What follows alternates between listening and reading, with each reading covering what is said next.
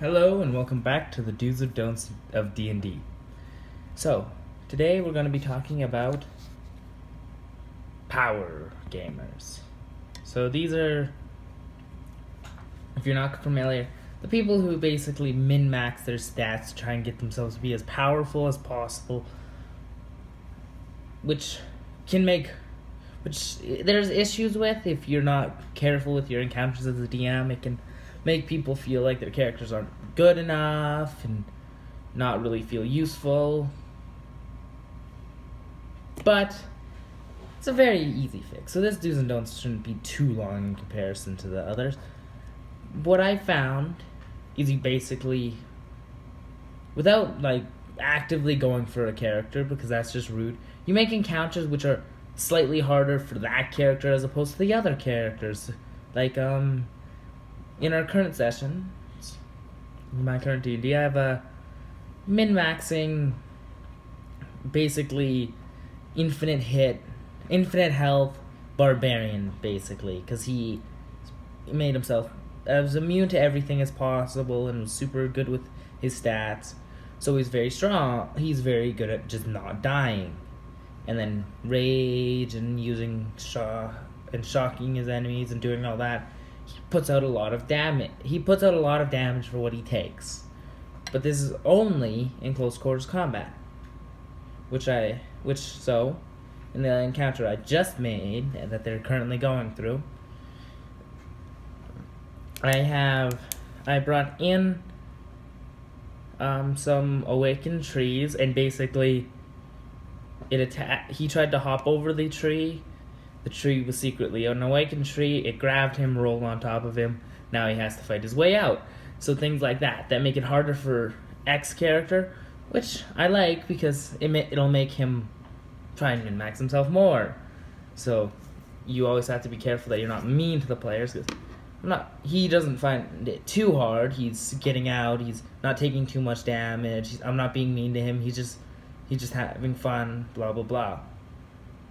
But I also feel there's nothing wrong with min maxing, as I kind of do it a little bit myself, like such as my rain, which I'll get onto in a second. But basically, the premise is you build the encounter for certain players because we have a high level cleric which well a high level for their sessions, which is a seventh level cleric, a fourth level ranger, and then the fourth level barbarian. So it's the cleric is not having the worst time.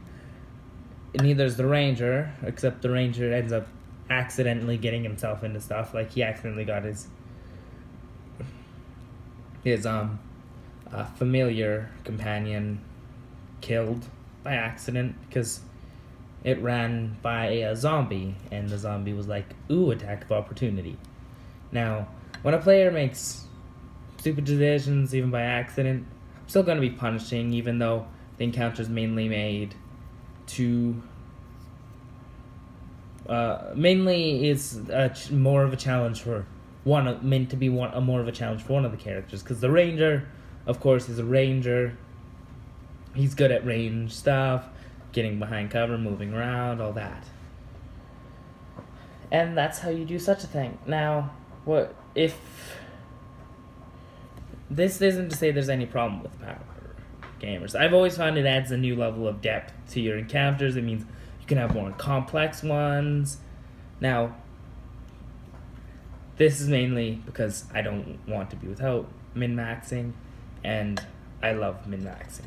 In truth, that's what my I love to do in D and D. Now, my DM, what he does to counter me because I am a Tabaxi Ranger, because that already is a fair enough combination. I'm also level in fighter and hat and am basically aiming to make my own super soldier character he just makes well so he's starting to he's basically made he could easily just make encounter he can and does make encounters that are supposed to be harder for my character except eh, I've played D and D for a little I played a little bit of D and D, and he's a little bit new over DM, so he's just starting to figure out things such as he currently has it where oh this enemy just picks up this enemy, carries them, then on that enemy's turn he walks up to me and stabs me and does stuff like that, making it so I take more damage, but fairly of course because he doesn't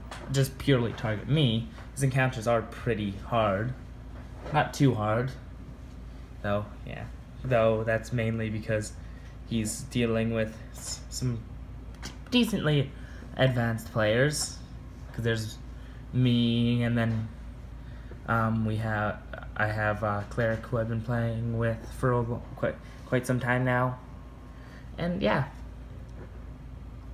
just do encounters that target um, like make it kind of some sometimes not all the time but go against the weakness. So like the barbarian i make it so it's a longer range fight. If it's like a if it's my range right if it was my range that i was had to basically min max my encounter for to make it so it hits them harder than it hits the other party so it seems like a more fair battle and it is a more fair battle. I'd probably just get ambush me or something or get me into a point where i'm not able to use my bow really well and then get trapped in corners and all that. As well or just like very tight spaces because tabaxis don't like that. Uh, or let's say it was let's say you had a couple clerics who kept using spiritual armor on each other. Just have things that hit harder in your thing. As well as you can always ease, tweak the um damage out the overall damage output and all that of monsters to make it a little bit harder. Not too much that it makes it unfair but yeah. This one went on a little bit long this episode went on a little longer than i thought it would but peace